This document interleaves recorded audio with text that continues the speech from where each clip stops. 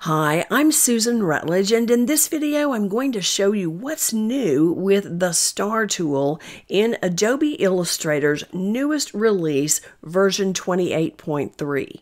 Stars are now live shapes, which means you can edit the number of the points and the size of your points even after you've created the star, and this is a great addition. So let's move to a new document and I'll show you how the star works in this version. Now we still find the star tool on the left toolbar underneath the rectangle tool. Press down with your mouse for the flyout menu and grab the star tool. As we drag from the center out, if we keep our mouse down, the modifier keys we used before still work. The up arrow key increases the number of points. The down arrow key decreases the number of points. The space bar allows us to move the star anywhere on the artboard.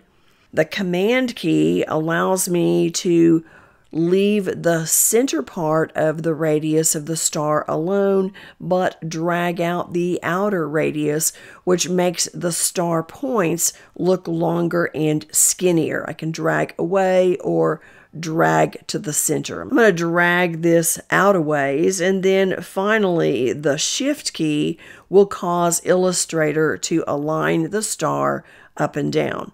I'll release my mouse and here is the star that I'm left with. I'm going to drag out another star to show you that Illustrator remembers the last star you created and it's going to duplicate that shape rather than going back to the original default setting, which looks like the icon on the toolbar. Now, if you want to go back to the default setting, the first thing you're going to have to do is go back to five points.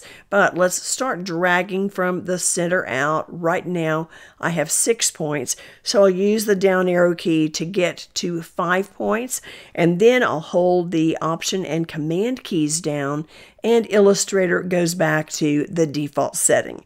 I'll release my mouse and here's what it looks like. Now I'm going to get the selection tool and delete this star and delete this star and select this large star and release my mouse and we see something different that we haven't seen before on our stars. We have a bounding box, and that's not new, but what's on the bounding box is new. I've got this little slider here on the right, and if you're not seeing this, you're going to want to go up to View, down here to show bounding box. Mine says hide because it's turned on. You can also toggle the bounding box on and off with the keyboard shortcut Shift Command B. When I come over to this slider now, you'll see the plus or minus sign that's next to my cursor. If I slide up, it reduces the number of points on my star. I can go all the way down to three points. And if I drag down, I can increase the number of points all the way up to 20. That's as far as I can go with this slider let's come back to about 10. Then I'll release my mouse here and show you the slider on the point of the stars. As I hover over this, you see a dotted line, which is the outer radius of the star. If I press down on this little slider and drag to the center, I reduce that outer radius. The text box next to my cursor is showing me the R1 value. That's the measurement from the point of the star to the center of the star. If I drag away from the center, I increase the R1 radius. I'll release my mouse and come to the inside slider, which measures and controls the inside radius of the star, and that's the radius that goes around these inside anchors. That measurement is from the center of the star to these inside anchors. And it works on the same principle as the outside slider. We drag to the center to reduce the radius, and we drag away from the center to increase the radius. Now, the corner widgets aren't new, they've been around for a little while, and we have two of them. This widget controls all of the star points at once unless I get the direct selection tool and select just a few of those star points and then only the ones that are selected are going to be rounded. You see how that works, and you might have a use for just rounding some of the corners. I'll undo that move, keyboard shortcut Command Z, because I want all of my star points to be the same. But now it seems I've lost all of my options for editing my star, and I really haven't. I just need to move back from the direct selection tool to the selection tool, and everything returns. Well, just like this widget controls the outside corners, this widget is going to control these inside corners. And I just grab hold of this widget and I round all of the corners at once, or I could use the direct selection tool again and just round a few of them. I'm going to round this out a little bit and round these points out a little bit. And then we have even more controls.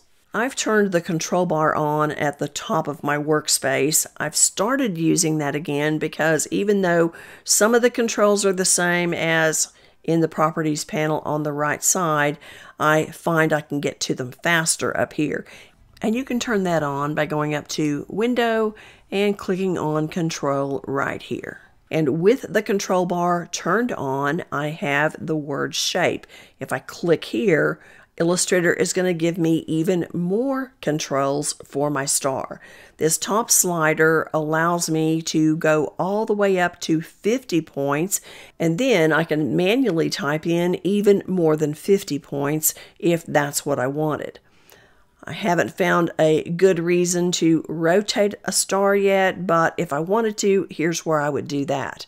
Now on the left, I have a couple of values and this R1, remember, is the outside radius. So if I knew exactly the size I wanted my star, I could type in the outside radius here and I could type in the inside radius, which controls the size of my points by typing it in here. These are new. They weren't in our bounding box. These are actually corner controls. Now, this icon is going to control the outside corners. So if I press down with my mouse, I'll see I have three choices, either a round corner, an inverted round corner, or a chamfer corner. So let's choose the inverted round. You can see what that looks like.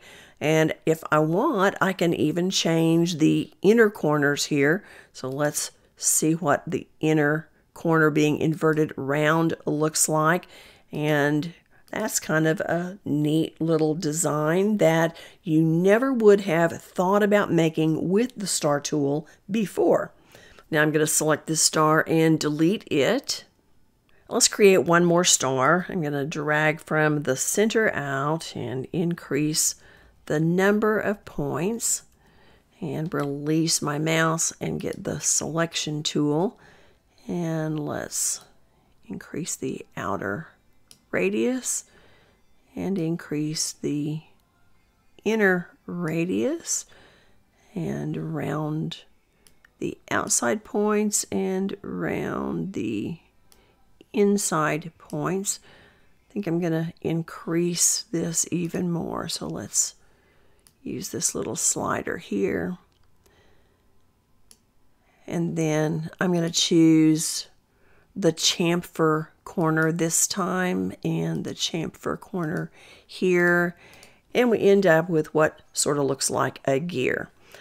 Now I'll delete this and I want to show you one more thing, just a quirky thing about stars.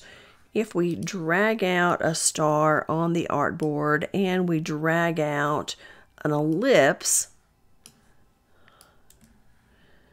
you would assume that this is the center of the ellipse and this is the center of the star. It even says it's the center of the star.